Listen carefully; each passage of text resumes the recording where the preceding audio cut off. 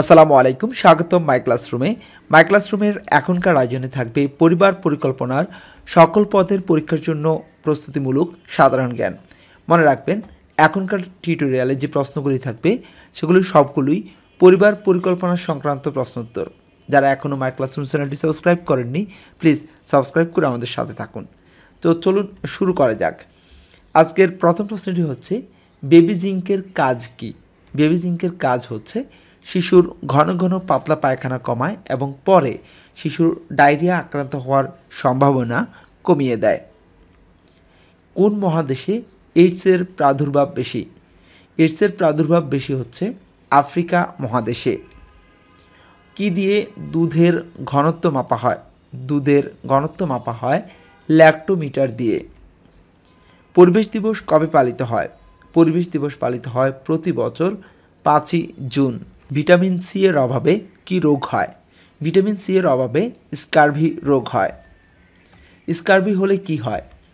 Scurvy হলে দাঁতের মাড়িতে ঘা হয়, দাঁতের গোড়া আলগা হয়, মাড়ি থেকে রক্ত পড়ে, দেহের ঘা শুকাতে দেরি হয় এবং সর্দি কাশি সবসময় লেগে থাকে। স্কারভি হলে এই ধরনগুলি দেখা দেয়। পরিবার পরিকল্পনা সম্পর্কিত নীতিমালা গ্রহণ, বাস্তবায়ন এবং সার্বিক প্রশাসনের দায়িত্ব কে পালন করেন? স্বাস্থ্য ও পরিবার কল্যাণ মন্ত্রণালয়।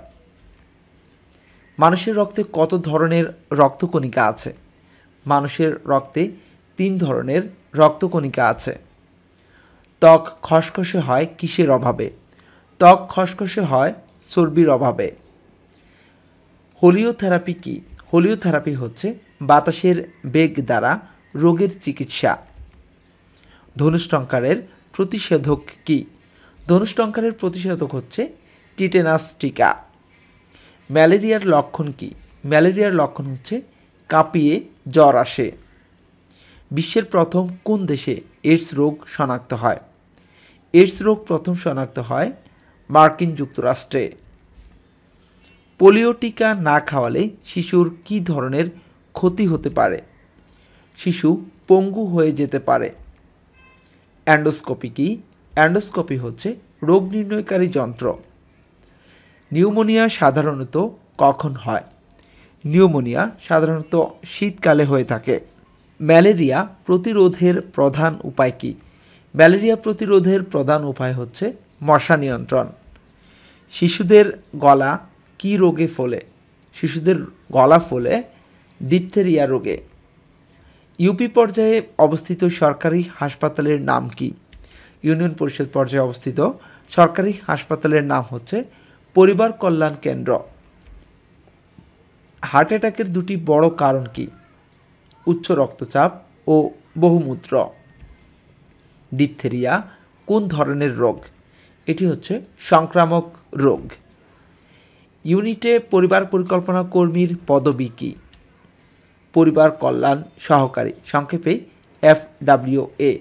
কম করা কত ভাগ পানি কমে গেলে স্নায়ুতন্ত্রের কাজে ব্যাঘাত ঘটে? বিশ ভাগ পানি কমে গেলে। ইউনিয়ন পর্যায়ে অবস্থিত সরকারি হাসপাতালের নাম হচ্ছে পরিবার কল্যাণ কেন্দ্র। জন্ডিস রোগ কোথায় হয়? জন্ডিস রোগ হয় লিভার, চক্ষু ও শরীরে। জলাতঙ্ক রোগের চিকিৎসা আবিষ্কার হয় কত সালে? জলাতঙ্ক রোগের চিকিৎসা আবিষ্কার হয় আঠারোশো ষাট সালে। শিশুর ছয় মাস বয়স পর্যন্ত কোন খাবারই যথেষ্ট? শিশুর ছয় মাস বয়স পর্যন্ত মায়ের বুকের দুধ যথেষ্ট। কত বছরের নিচে গর্ভধারণ করা ঝুঁকিপূর্ণ? আঠারো বছরের নিচে গর্ভধারণ করা ঝুঁকিপূর্ণ। বাংলাদেশের সহনীয় মাত্রা কত? দশমিক শূন্য পাঁচ পার্সেন্ট। হৃৎপিণ্ডের আর্সেনিকের প্রকোষ্ঠের সংকোচনকে বলা হয় সিস্টোল।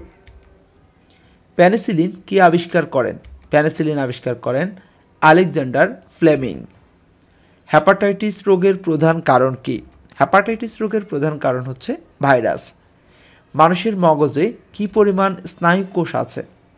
প্রায় হাজার কোটি। কোন ঔষধটি এখন এইডস রোগের জন্য ব্যবহার করা হয়? অ্যাজিটোথাইমেডিন এটি এইডস রোগের জন্য ব্যবহার করা হয়। কুইনাইন আবিষ্কার করেন কে? কুইনাইন আবিষ্কার করেন রেভি বাংলাদেশের গলকণ্ঠের জন্য সর্বপ্রথম কখন জরিপ করা হয়? উনিশশো ষাট থেকে উনিশশো একষট্টি সালে। শতকরা কত ভাগ জীব রাসায়নিকভাবে আয়োডিন স্বল্পতায় আক্রান্ত? দশমিক পঞ্চাশ ভাগ। জন্ডিস কি বাহিত রোগ? জন্ডিস পানিবাহিত রোগ। কড, স্যালমং, হ্যারিং মাছগুলো থেকে আমরা কি পাই? আয়োডিন পাই। খাদ্যের রাসায়নিক উপাদান কয়টি? ছয়টি। আজ এ পর্যন্তই। এতক্ষণ পর্যন্ত যারা সাথে ছিলেন, সবাইকে অসংখ্য ধন্যবাদ। আসসালামু আলাইকুম।